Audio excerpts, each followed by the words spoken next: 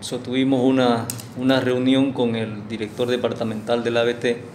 para hacer una evaluación sobre el tema de, los incendios en el departamento, los focos de calor.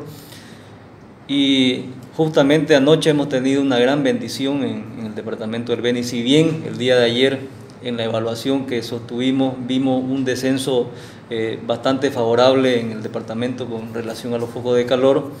ya con la lluvia de, anoche hemos tenido el reporte el día de, ayer habían 2.557 focos de calor en todo el departamento y hoy hemos amanecido con 587 focos de calor. Esto es gracias a la lluvia que ha venido a paliar no solamente el tema de los focos de calor, sino también para que haya un rebrote en el pasto para los animales que estaban sufriendo bastante. En varias provincias habían reportes de de pérdidas por, por el tema de enflaquecimiento y muerte de ganado. Y esto, esta lluvia que ha caído, eh, nos va a bendecir mucho porque va a haber, va a haber rebrote de, pasto y los animales van a eh, entrar en unas mejores condiciones de,